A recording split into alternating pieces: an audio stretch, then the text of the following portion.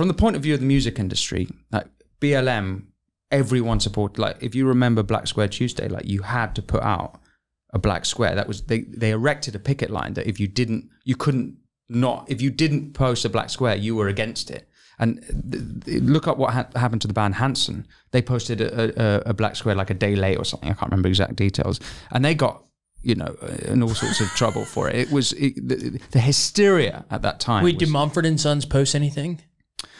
Do you remember? I I think um, yeah, I think we did. Right. Um, and I wouldn't have necessarily. I was pretty affected by the George Floyd thing, to be honest, and and pretty emotional about it. Um, I, I, I would say I had a slightly more nuanced take that I, I, I didn't support Black Lives Matter, the organization. Right. I'd read all the literature, Patrisse Khan-Cullors. Before that, I was living in New York. Everyone was talking about BLM and these kind of things. So I, I was brushed up. I knew that they were a Marxist organization. I knew that um, it was anti-family. Uh, I, I, if I didn't know, I was soon to know that they were anti-Israel. And, you know, um, I, pr- I, I knew that they were extreme. Yeah. And then look what, ha- look what they do with the money Yeah.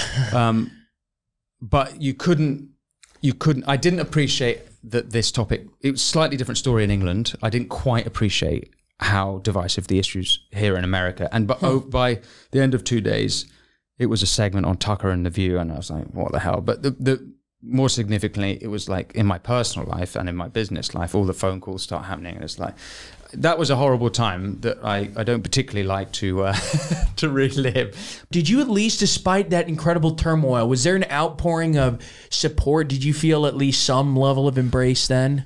I was very surprised by that. I think that letter got read over a million times Oh because it goes it got read. That, that medium piece I think was like six hundred thousand or six hundred fifty, but then it got got reshared on other other media mm-hmm. outlets like the Daily Mail. I think the New York Post or something. They they put it out. My feeling at the time. The the period before that, so again, just not the whole story has been said here, but initially after the tweet, I apologized to try and kill it because it was like kicking a hornet's nest. They they came all these activists came after not just me, they came after my whole band and their families and things like threatening to, you know to hurt us, hurt them. Uh, things like uh, going on. Uh, someone went onto my Wikipedia page that night and changed it from uh, Winston Marshall is a banjo player to Winston Marshall is a fascist, and my I had a friend like helping me out changing it back but they she was up all night because they kept changing it back and i think it changed like six times they, they do everything they can to destroy your reputation um, and so I, I wanted to kill all of that and I was like, maybe I don't know everything about this topic. Like, I just read one book. Like, maybe I, well, I mean, I knew quite a lot about the topic, but I was still open to, you know, thine ignorance of thine ignorance is thy fear fearest foe. You can, I, I was accepted happily that I might not know the whole story. So then I looked into it. I issued this apology. Uh, uh, I spent a few months really getting into it, like uh, looking into the topic. What my what were my blind spots? What have I I made made wrong? And eventually, I mean, again, I've said this story so many times, so your listeners can find it elsewhere. But eventually, uh, decided to publish the letter as you described, and basically retracted my apology. But the only way I could do that for various reasons, I had to quit the band as well.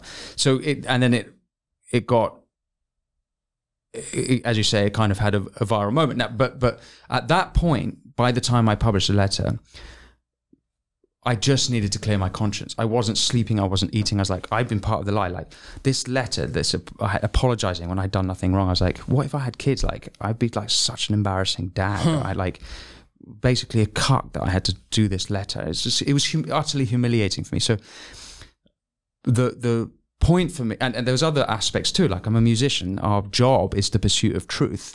So if I have this letter, like whatever I put out now is, it's like it, it's degraded by the that letter. It it it loses impact because I'm not an. There's an amazing Solzhenitsyn piece called "Live Not by Lies" that he published in 1974. Um, I think on the eve of his expulsion from Moscow, and I I'd read that maybe five times. It kept hitting me, and it, it's um you should you should read it. and there's one particular paragraph that's saying if you call yourself, how dare you call yourself an artist if you're not prepared to live by the truth or pursue the truth? I can't remember the exact words, and that kept hitting me. And so, for me, when we for when I published, it was about getting my dignity and my soul back, and I and I did. So my initial response was like, like my conscience is clean. So I was like, I kind of could relax then after three months of like inner turmoil, inner turmoil. Yeah. So um, yeah, that's a very long story short. Were would you were you were you expelled from the music industry, or did a lot of people keep ties with you after that? A weird thing happened. There, there's certainly a few people in the industry that I stayed friends with, and funnily enough, that so um, it's a, it's a it's a mixed one. A lot of people privately, including major pop stars, will privately talk to me say, "I agree with you." I actually read that book. Did you get mad though that they weren't speaking out in your defense? At some point, I would have been like, "Come on, can we have someone step up?" Uh, it's like I know what it's like.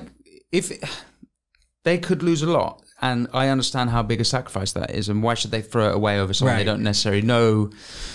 Um, it, it, it's true that it, all of these things need a critical mass. Like if yeah. a lot of people have been like, "What the fuck is this ridiculous story?" Yeah. I had actually said something, yeah, it would have been uh, thrown away. It goes back to what we were saying earlier about um, people self-censoring because if you speak out, you know, they're scared of yeah. the tar. Yeah. Um, sorry, what was the question? Sorry, I interrupted that. Uh, yeah. Well, I mean, I, I think you know, Solzhenitsyn, Solzhenitsyn, your parallel would be being exiled from the music industry. Oh well, so yeah, I speak to people in the music industry still, and funnily enough, since I've been outspoken against anti-Semitism and outspoken on Israel, actually a lot of my friends who are Jews in the industry will speak to me saying, "Thank you for writing this article. Thank you for doing this interview," because they cannot speak because there's a.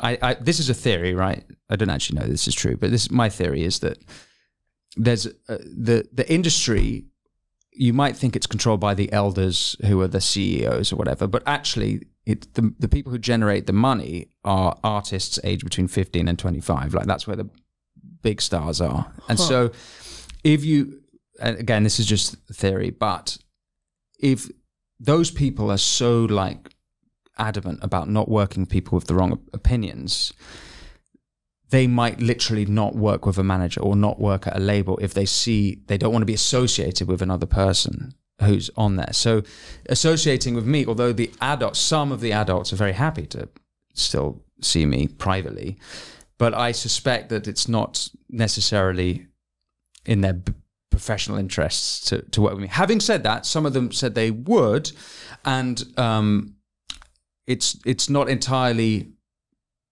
I, you know, I, I have put my, I did a US solo tour.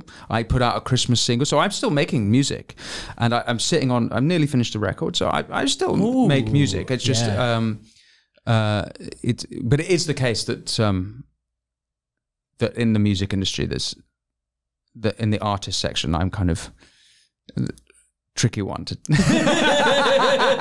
There's an asterisk. but, it, but, it's not. I, am certainly never going to claim I'm like completely ostracized. It's more complicated than that. It's um, and and I can put out music. And there's artists. Look at someone like Ariel Pink who went to the Trump, uh, the the Jan six Trump yeah. rally. Not he didn't go to the Capitol Hill yeah. storming, but he went to the preceding rally and he got dropped from his record label, and and he'd be a good guy for you to bring on yeah. the show. He's a, he's a fun one, and um, you know, and he's still putting out music, and you can still put out music independently, and right. you don't need a label anymore. Look what happened to Oliver Anthony, right? Um, blew up without really much yeah. support. Just you just right. need to, great songs and some you know, some heart. So before we go back to dissident dialogues and some of the larger cultural issues, just on your story, one thing that we talked about is the lack of courage around you. And I, I respect what you said, where you're kind of like, if one of these big names were to speak up on your behalf, they'd be falling on their sword, potentially risking their career, uh, a lot of people's success and reputations around them. This sort of gravy train they're on, bringing it to a crashing halt. So I get it's a lot to sacrifice the band, Mumford and Sons. There was, I think, in 2022, Marcus Mumford said they begged you to stay. Did you feel like you had that support? uh, no one begged me to stay.